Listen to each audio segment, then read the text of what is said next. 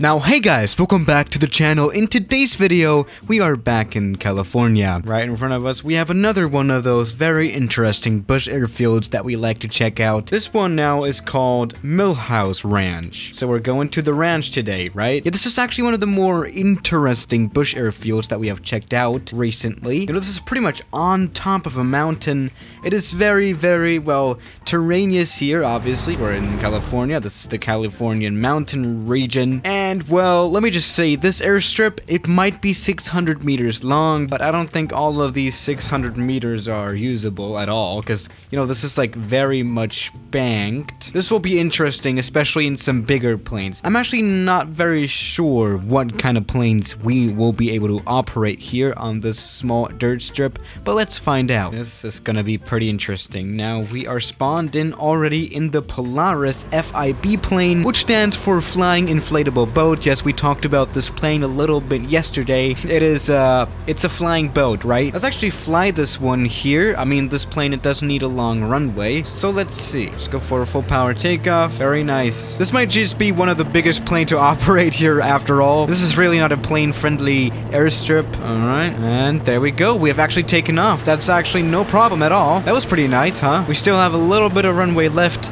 but honestly, still, I'm not quite sure what planes are actually going to be able to operate here. Now, this is an ultralight. Obviously, this plane can fly anywhere, really. So let's actually try a plane that has more of a fixed wing, right? You know what? Let's actually stay with the basics. Let's try the Cessna Skyhawk, the Cessna 172. Let's try landing that plane here without damaging the prop, which is going to be quite an interesting, uh, well, adventure, I guess. Let's just do that. Yeah, I don't know if that runway is actually supposed to be banked, but it is. Not very nice conditions. All right, welcome aboard. You know, the problem about having an airstrip in the middle of the woods woods is that you can never really find them. Or is it? I think it's in front of us now. Let's actually land there, I guess. Okay, so the airstrip is ahead. The Cessna 172 is not a bush plane. It was not really made to operate on like bush airstrips like this. You know, planes like the Piper Cub or the Super Cub, they are more suitable for places like this. But let's see if the Cessna also works. Let's find out. All right, the flaps are full. Let's actually try touching down on part of the runway where it's not banked as much. Oh, Jesus Christ. Oh, we're falling off into the woods. All right, time to commit crash. There we go. Actually, this is not very easy, especially with this bank. Oh, wow, there we go. The Cessna rolled itself onto the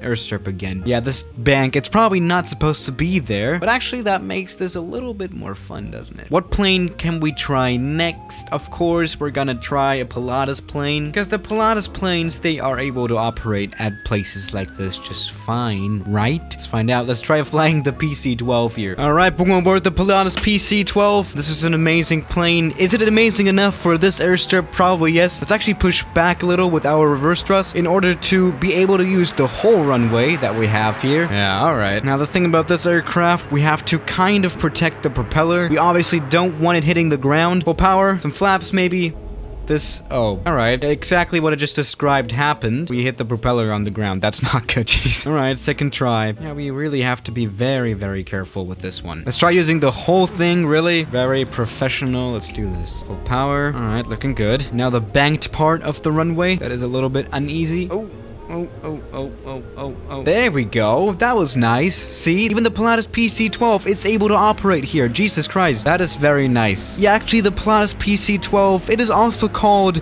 the bush plane of the private jets. Actually, there's another one that is also kind of a bush plane. That's the Pilatus PC-24, and that is a jet plane. And that is also called the bush plane of jet planes. That was a lot of bush in one sentence. Let's actually go ahead and try landing this plane here. I think that'll be a little interesting, I guess. But we'll see. We have been to many airports with this one, and we have always found the PC-24 to be the biggest plane to operate on a small runway. You know, mostly we couldn't get bigger than the PC-24, which makes sense. I mean, you know, this aircraft is able to operate on grass runways and stuff, and, and, and snow, that's nice. Pretty much anywhere, really. It's just one of those features that Pilatus planes have. Very nice. And this one doesn't need a long runway, especially compared to other private jets. Or even a runway at all, if you can say that. Alright, let's now land this one. Gonna be quite interesting. Alright, let's get this landed.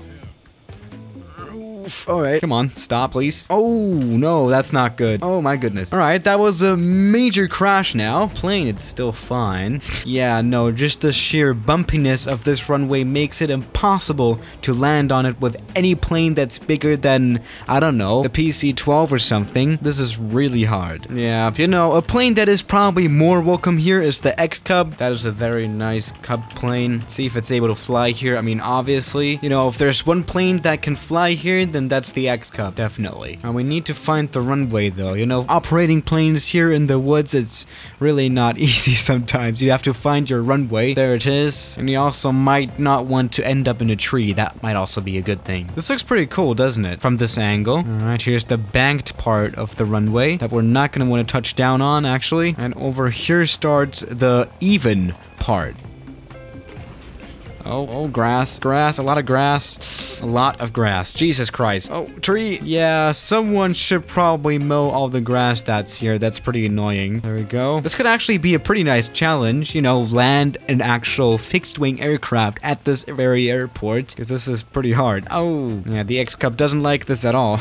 Not even the X-Cub. That's pretty weird, isn't it? Now let's try a plane that kind of can work here. That's the DHC-6 Twin Otter, obviously. We love this plane on the channel Let's see if this plane can actually fly here too. This is gonna be quite interesting as well. Alright, let's try landing this plane now here. Maybe the legendary Twin Otter can fly here. Come on. Oh my goodness. Jesus Christ. Yeah, every landing here is probably a crash landing.